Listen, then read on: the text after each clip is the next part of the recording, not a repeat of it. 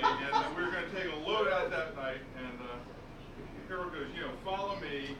And before we got the truck loaded, we had uh, busted the Hyster, we had spread unbundled lumber all over the yard, et cetera, et cetera, et cetera. We finally get what we got to do, and I find out that he had been there two days longer than me. And so anyway, that was my training.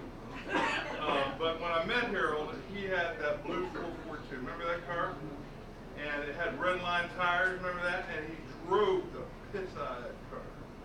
I mean, he, I thought he was boat dude.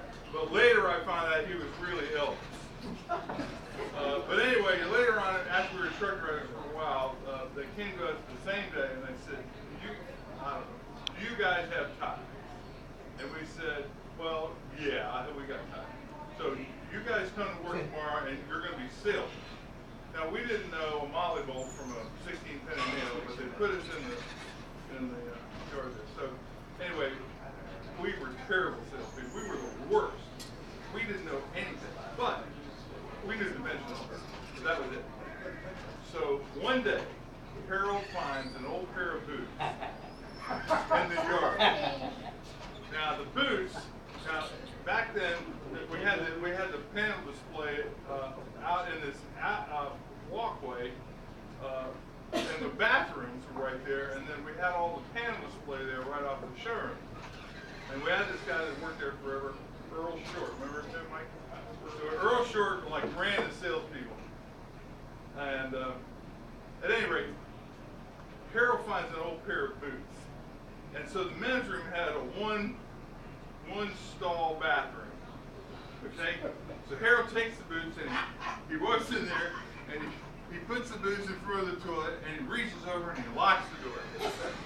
So he, he comes back in the show me, he he tells me what he goes, just just watch. This is gonna take a while, but just wait on this. So anyway, old Earl's out there and he's showing this guy some lumber and the guy, you know, these panelings, and he's flipping this and flipping that, and the guy goes, you know, you're gonna have to excuse me for just for a minute. I gotta go to the bathroom. So he goes in the bathroom and he looks there and he tries the door and it's locked. So he comes back out and he's looking at more stuff. He's about another three or four, five minutes. And he says, excuse me just one, one more time. And he goes back in and thing's locked again. He looks in there and he sees those boots. So this goes on like three or four times over about a 25 minute period. Finally the guy is like dancing around over there with Earl and all that stuff. He says, man, I don't know what I gotta do. Maybe I gotta go to the ladies' room, but there's been a guy in there for, he's been there forever. He must be really sick. Earl goes in there and knocks on the door. Hey, hey. So the guy, he looks under there, he sees the boots, he looks over there, and there's the pair of boots. so the guy, so Earl reaches over, he unlocks the door, the guy goes in there, he, I mean, from the, from the lumber, he's like pulling out, he's, you're clearing out, the guy is like ripping his pants down, he goes in there, Earl comes in the, the showroom and he goes, you too, you too, I know you, yeah. So anyway, um, I've had a wonderful time with Harold at Wickes, and then, of course it continues on over years. I left town, went back to school, came back uh, a few years later, had a desk job. So uh, I bought this condo out um, at Gulf Sands, for those of you know this, just north of Pocono Beach. This is 1979. Harold had the, uh, no, he, I mean, he had, you said, as, as this is true, he owned, he uh, started uh, just about 20 businesses. He was the best entrepreneur I ever knew. My, my personal favorite was Ewing Steakhouse. Oh, yeah. Now that was a fun deal. That was, it was a, for those of you who don't know or remember, it was a cook your own steak place, and it was the most social restaurant that I've ever been to because what you did, he had this big pit, you brought your own steak, you cooked your own steak, they brought you all the rest of the stuff, and it was just a really fun social thing. But at any rate, uh, he had, uh, he was at the lumberyard. So uh, we decided that we were going to throw this pig roast at, at the beach condo. So um, I had come back, I was working for Wilbur Boyd at the time, and uh, we were going to go buy these pigs. Now we had just attended a pig roast. That's all we knew about. We didn't know. We didn't know shit from applesauce. So we go and we're going to go buy these pigs.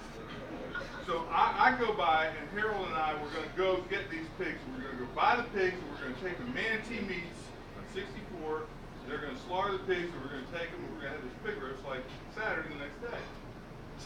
So, anyway, we go, so I go to pick up Harold at the, at, uh, Palmetto Village at the, at the, uh, at the uh, hardware store. So Harold at the time had that old blue Datsun little pickup truck. So that was our plan. Now I got a, I have a bet, I have a tie and a bet, okay? And I'm only gonna set this up for a later comment, but, so Harold and I are there and we're gonna take the thing and Jim, I wish Jim Amerson, who's out of town, I wish he was here because this is on him too. He happens to be in the, in the, uh, hardware store and he says, we tell him what we're gonna do. He goes, "You dumb shits." He says, "He says those pigs gonna jump out of the truck." and we go, we go, well, yeah, they probably will. He goes,